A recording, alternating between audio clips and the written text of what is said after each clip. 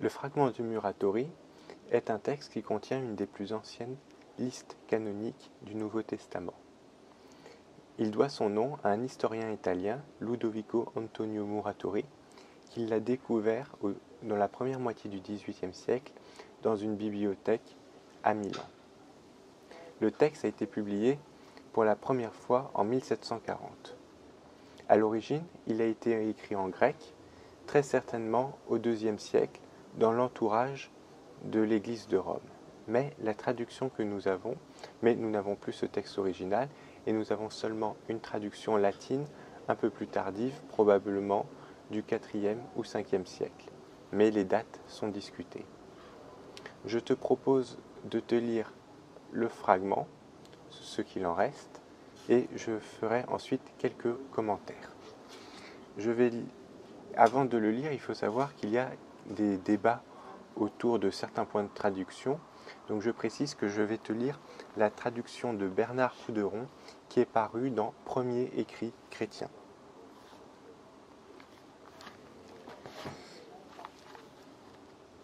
Donc, le début du fragment est manquant et cela commence directement ainsi.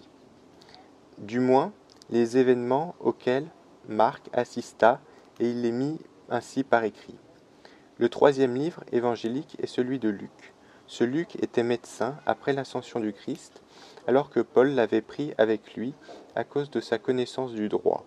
Il écrivit en son propre nom, selon son point de vue.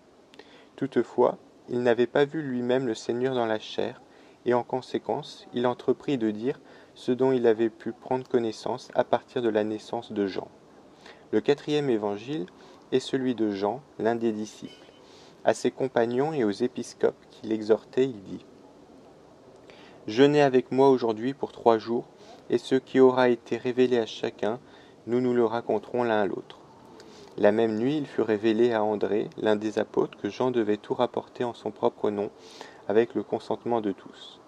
En conséquence, même si le commencement de chacun des livres évangéliques semble différent, il ne diffère cependant rien pour la foi des croyants, puisque tout y est exposé en tous par un esprit unique et souverain. La nativité, la passion, la résurrection, les entretiens avec ses disciples, son double avènement, d'abord méprisé comme il le fut dans son humilité, puis dans une glorieuse puissance royale comme cela adviendra. Qu'y a-t-il donc d'étonnant si Jean rapporte avec autant de fermeté chacun des événements, même dans ses propres épîtres, quand il dit à propos de lui-même ce que nous avons vu de nos propres yeux, ce que nous avons entendu de nos propres oreilles, ce que nous avons touché de nos propres mains, voilà ce que nous avons mis par écrit pour vous. Ainsi, il proclame avoir été non seulement le spectateur et l'auditeur, mais aussi le rapporteur de tous les miracles du Seigneur selon leur ordre. Quant aux actes de tous les apôtres, ils ont été rédigés en un seul livre. Luc expose à l'excellent Théophile chacun des événements qui se sont déroulés en sa présence, comme le montre à l'évidence le fait qu'il ait omis la passion de Pierre, mais aussi le départ de Paul, quittant la ville, c'est-à-dire Rome, pour l'Espagne. Quant aux lettres de Paul, elles manifestent par elles-mêmes à ceux qui veulent bien comprendre quelle est leur nature, d'où elles proviennent et même pourquoi elles ont été envoyées.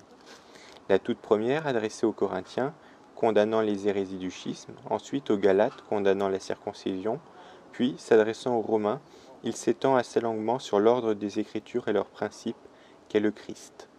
Il est nécessaire que nous traitions de chacune d'elles, puisque le bienheureux apôtre Paul lui-même, suivant l'exemple de son prédécesseur Jean, n'écrit nominativement qu'aux sept églises dans l'ordre suivant.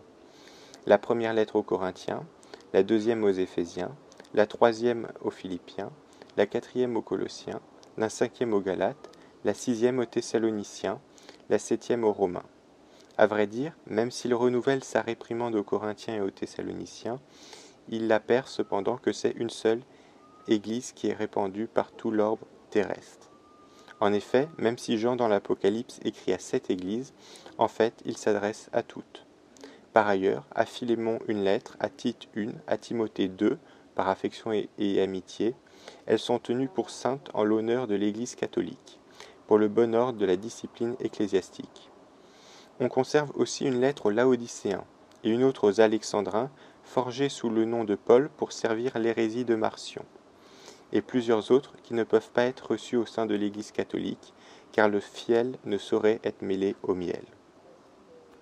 En revanche, l'épître de Jude et deux autres portant le nom de Jean sont acceptés au sein de l'Église, ainsi que la sagesse écrite par des amis de Salomon en son honneur. Pour les Apocalypses, nous acceptons seulement celle de Jean et celle de Pierre, dont cependant certains des nôtres refusent la lecture dans l'Église.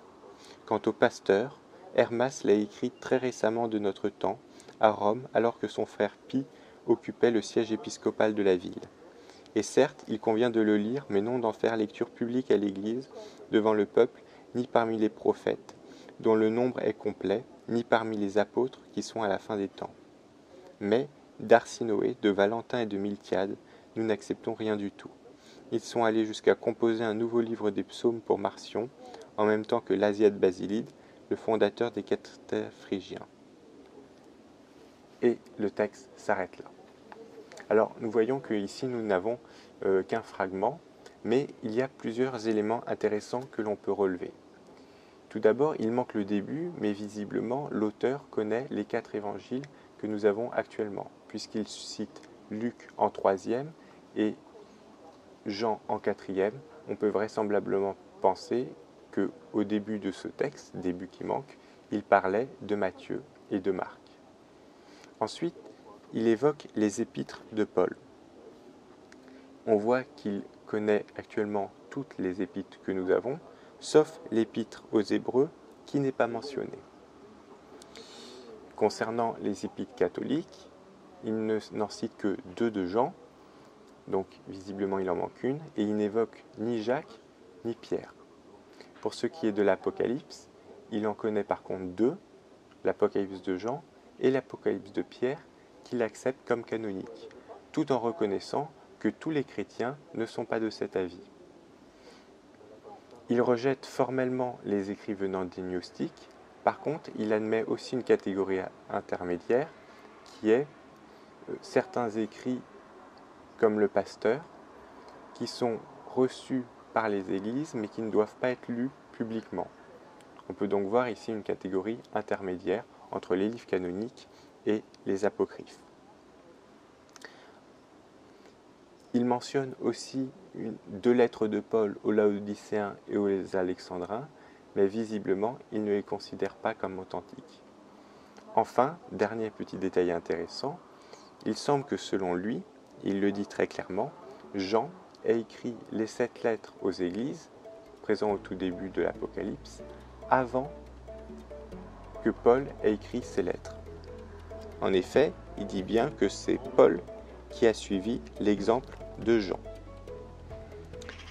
Voilà, c'était quelques réflexions que je voulais partager avec toi autour de ce fragment de Muratori. Si tu as des questions ou des remarques, n'hésite pas à me laisser un commentaire. Et moi, je te dis à bientôt pour une prochaine vidéo.